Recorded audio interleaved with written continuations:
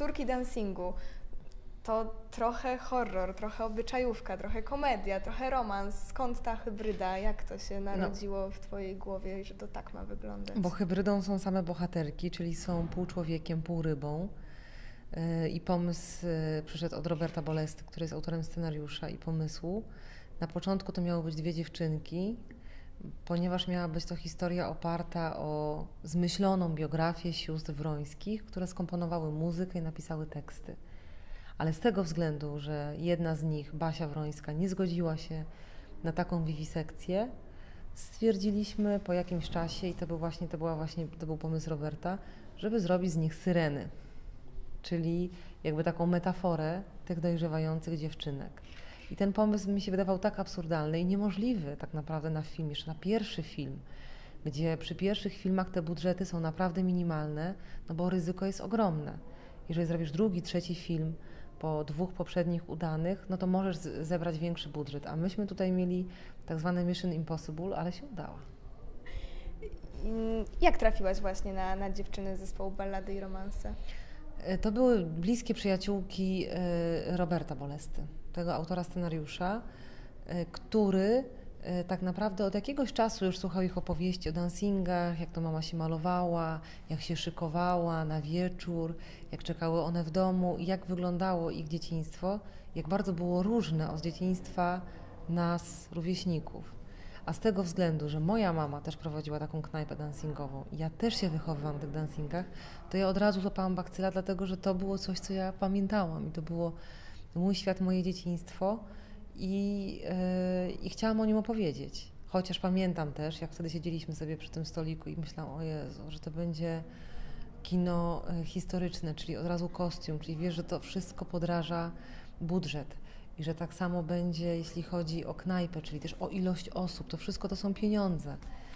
No ale e, pracując nad innymi pomysłami w międzyczasie, to też ten pomysł wracał do mnie przez cały czas. I pamiętam taki moment, kiedy pracowaliśmy nad innym projektem i wtedy myślałam, nie, no to bez sensu, ponieważ cała para idzie w to, żeby zrobić tak naprawdę tamten film, czyli te córki dancingu, ponieważ też producenci mówi, dobra, no to wykaż się, pokaż, zróbmy najpierw mały film, a potem zrobimy ten większy. I bardzo się cieszę, że, że zrobiliśmy córki dancingu.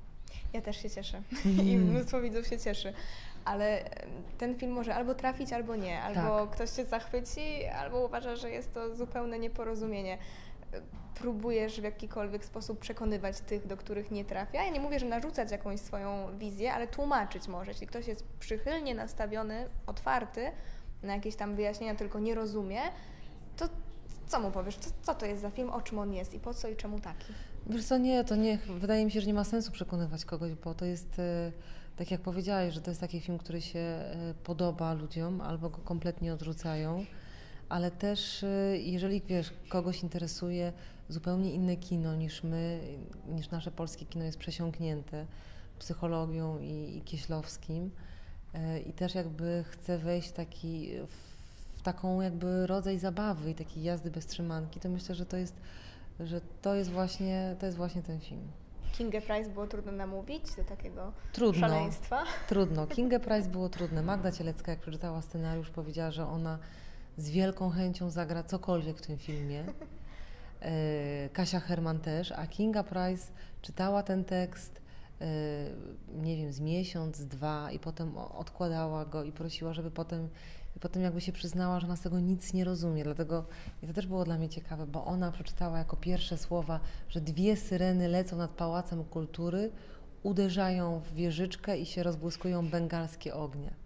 I ona to nie, no że to jest jakaś paranoja, jakiś debiutant coś takiego napisał, ale ona nie zauważyła, że tam była animacja. I bardzo dużo ludzi tak właśnie czytało dosłownie ten tekst, bo scenariusze fachowcy czytają dosłownie, dlatego że scenariusz tym się charakteryzuje, że jest napisane tam to, co widać i słychać na obrazku. A ten tekst był bardzo literacki i dopiero potem obrabianie go w, w obrazy, w język filmowy, to był kolejny, kolejny etap.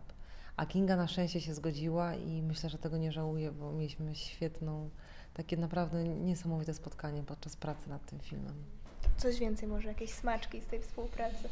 Z Kingą no, z, no, i w ogóle z ludźmi. No, muszę Ci powiedzieć, że to była taka, taki rodzaj y, chyba takiego spotkania, które nie wiem kiedy teraz się wydarzy, dlatego że my na tym planie i tak samo przed musieliśmy wszystko wymyślać od początku. I na początku, jak ludzie byli tak troszeczkę zdystansowani, nie wiedzieli, jak to ma wyjść, że to jest jakaś zabawa, ale taka bardzo no, ryzykowna. I później, jak były już kolejne dni zdjęciowe i się okazywało, że to naprawdę się dzieje, że te ogony silikonowe, które mają dwa metry, wkładamy na te aktorki że one naprawdę się stają tymi syrenami. Że Kinga Price, która tam pamiętam przygotowywała się do piosenki I Feel Love yy, i wchodziła i później też pamiętam ostatni dzień zdjęciowy z Kingą, kiedy naprawdę to było no bardzo e, tak naprawdę przykre, że to już jest ostatni dzień. I też pamiętam to u niej. Ona nam mówiła, też chyba zresztą gdzieś tak powiedziała, że ona się y, zawsze jak się kładła spać, to myślała, niech ta noc się skończy po to, żeby przyjść rano na plan. I to, y, no, to było naprawdę niesamowite. I też Kuba Gierszał, który grał, y, który grał tam basistę, jak i też Marcin Kowalczyk. No super było naprawdę. I teraz myślę, że takie spotkanie zawsze przy pracy nad filmem jest bardzo intensywne jak się kończy, to jest nam ciężko się rozstać z tym. To jest taki jakby syndrom kolonii, jak my to nazywamy. Ale tutaj w tym przypadku, przez to, że ten świat był jeszcze tak bardzo inny i wszystko to mogliśmy wymyśleć my. I pamiętam, jak szliśmy y, na chyba z tobą piąty dzień zdjęciowy i każdego dnia naprawdę było coś innego. I już wszyscy tam, niektórzy od nas tam z produkcji nie mieli siły, bo to było, trzeba było, teraz mieliśmy na przykład scenę, kiedy złota wchodzi do wody kiedy zagryza Niemca i wchodzi z sercem w ustach i ma speł, wpełznąć do, do wody. I my się zastanawialiśmy, jak ona ma tam wejść, bo przecież założyliśmy jej ten ogon, który waży 35 kilo. Wysypaliśmy piasek na takim zejściu i Michalina biedna nie mogła jakby no, ciągnąć tego ogonu, więc myśmy robili tam kilka prób jeszcze przed zdjęciami. Najpierw taki wózek jej daliśmy, że ona w momencie, kiedy już się położyła na ziemi, to położyła się na takim wózku, takimi kółkami i próbowała schodzić. Ale przez to, że był piasek, to nie mogliśmy tego wózka pociągnąć. No więc to trzeba było ten wózek wywalić. To już była trzecia w nocy, minus chyba 3 stopnie, co naprawdę jest, kiedy dziewczyna jest rozebrana do połowy, jest y, ogromnie, no strasznie zimno. To pamiętam, że dzięki temu właśnie, że był z nami na planie Kuba Knapik, czyli supervisor od efektów specjalnych, on powiedział, dobra, ściągajcie ten ogon, niech ona zakłada taką spódniczkę silikonową i niech schodzi sama. No i zeszła Michalina raz, tak do wody i się naprawdę zanurzyła i to ujęcie weszło do filmu, a cały ogon jest wygenerowany komputerowo. I takich scen i takich momentów mieliśmy codziennie przez 30 dni zdjęciowych, kiedy dziewczyny musiały też pływać, ale też kiedy były takie trudne sceny psychologiczne, bo tam w tym filmie się łączy kilka konwencji. I moje zadanie jako reżysera było tak naprawdę stworzyć nową konwencję, która łączyłaby te już nam znane do tej pory w, w kinie. Więc y, codziennie tak naprawdę byliśmy, jak to mówił y, Marcin Starecki, drugi reżyser, pionierami.